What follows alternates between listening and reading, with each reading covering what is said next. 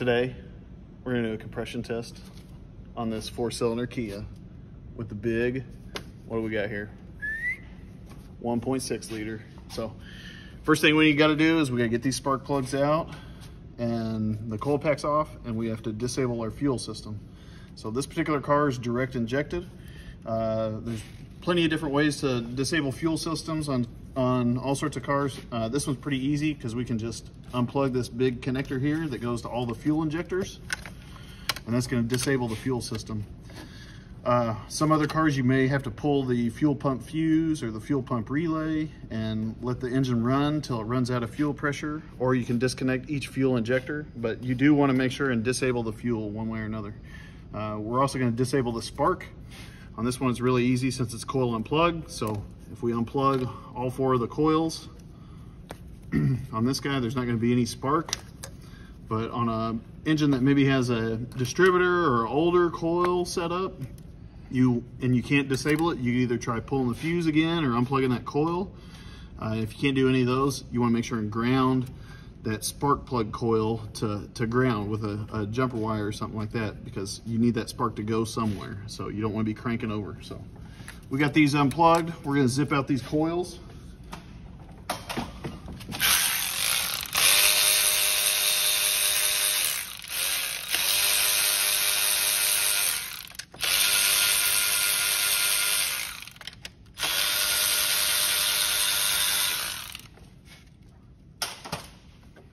set our ignition coils to the side.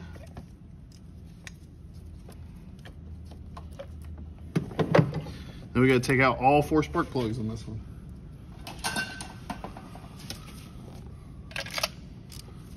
Getting all that? Doing good, buddy. So I like to take spark plugs out by hand. Uh, it gives you a little more control. Uh, a long extension like this is pretty tricky uh, you want to make sure to support this angle here so you don't break the porcelain on it. So uh, you don't want to just push on it because it's very likely that it'll angle the spark plug and break that porcelain. So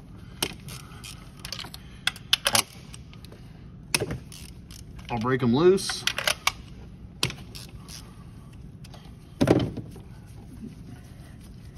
And just use my finger. They usually come out pretty easy.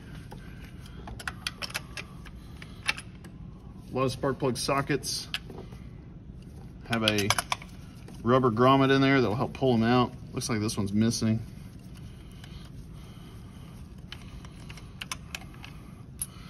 There we got that one. Let's see if we can fish this one out. Probably have to use a magnet on it.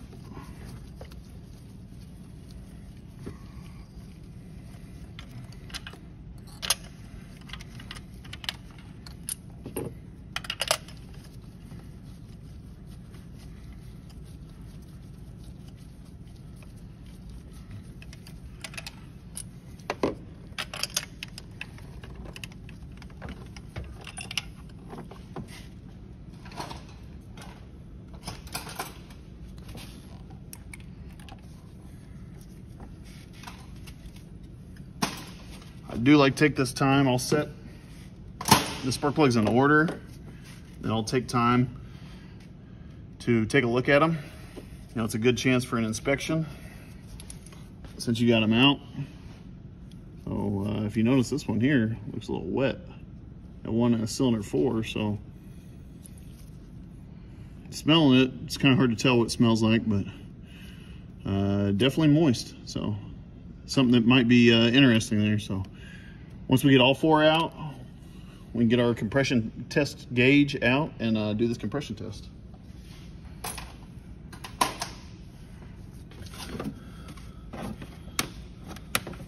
So gauge sets are all pretty similar. Uh, for the most part, they look really similar to this. It's gonna have a gauge. Gauge is gonna have a relief valve to relieve the pressure. Usually some style of quick connect in between the portion that screws into the, the cylinder and uh, the gauge itself. So that makes it pretty handy.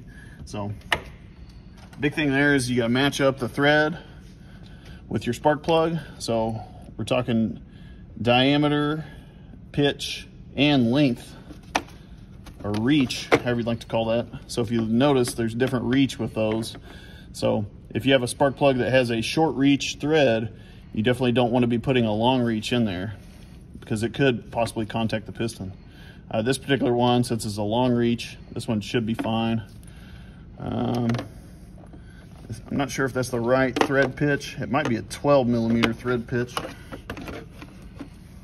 Kind of looks like it, just looking at it. Let's see if this one will go in.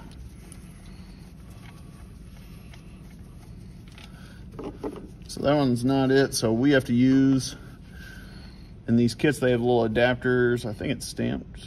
Maybe it's not stamped on there, but this is a 12 millimeter pitch adapter. Uh, actually, we're gonna do that. Let's do it on this short one.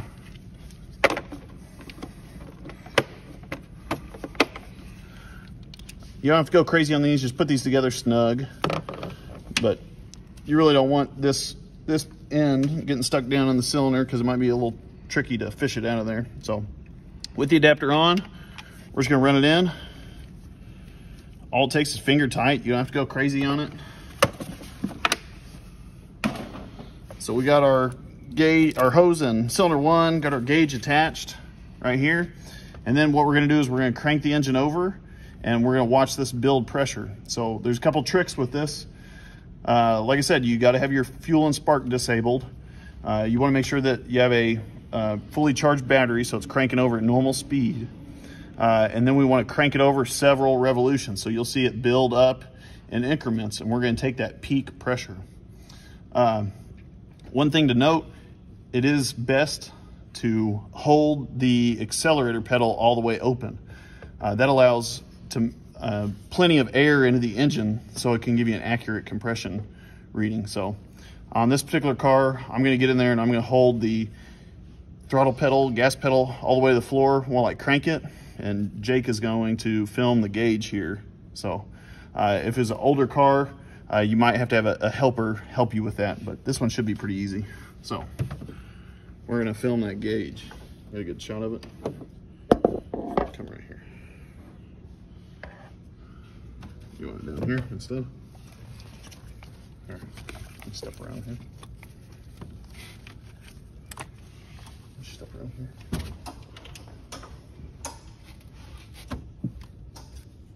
There you go. Looks good. It's upside down.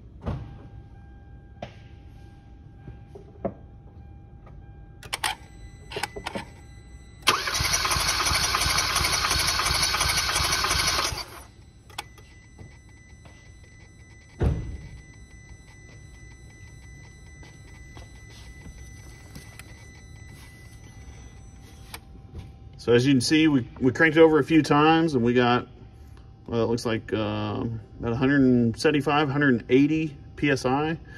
Um, it Sometimes it's a good idea to maybe do it twice on each cylinder uh, just to make sure you're getting repeatable results. Uh, but to relieve that pressure, we have this pressure release button right here. Just push that down. It's gonna relieve that off. And then we'll, uh, we'll crank it over one more time just to uh, verify our results there.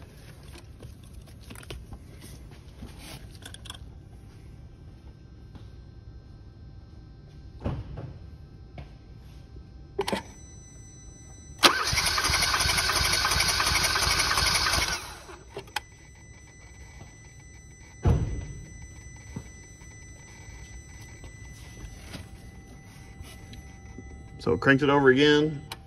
Looks like 175, so pretty repeatable.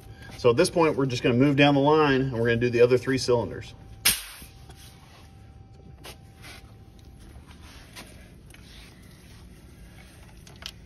Take the hose out, just move to the next one. Make sure your adapter comes with it if you're using one. So here we go.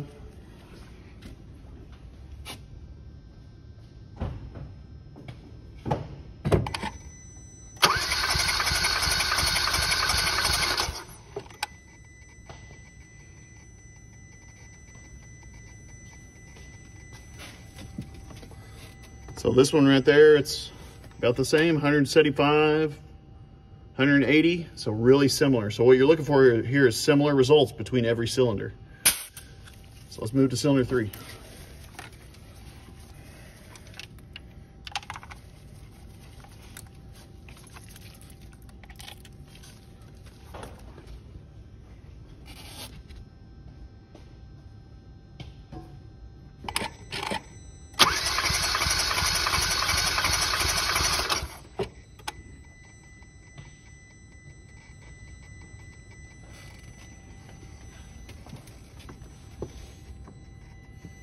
So again, that's pretty close. What's that? That's 170. So uh, still pretty close.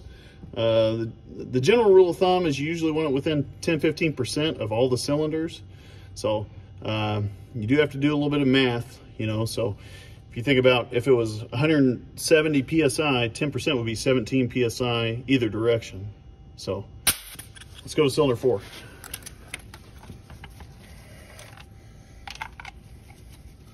So if you remember, cylinder four had the funny looking spark plug. So we're gonna see what happens here.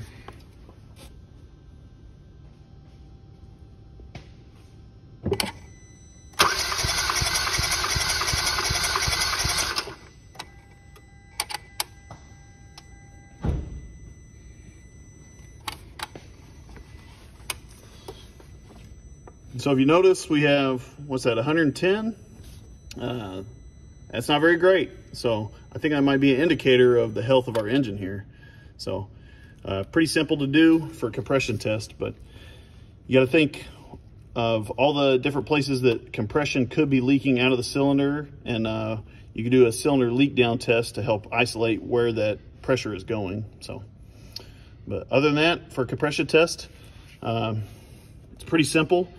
Take good notes and uh, real good indicator of the health of the engine. And uh, from this point, all we got to do is put it back together and uh, proceed from there. So,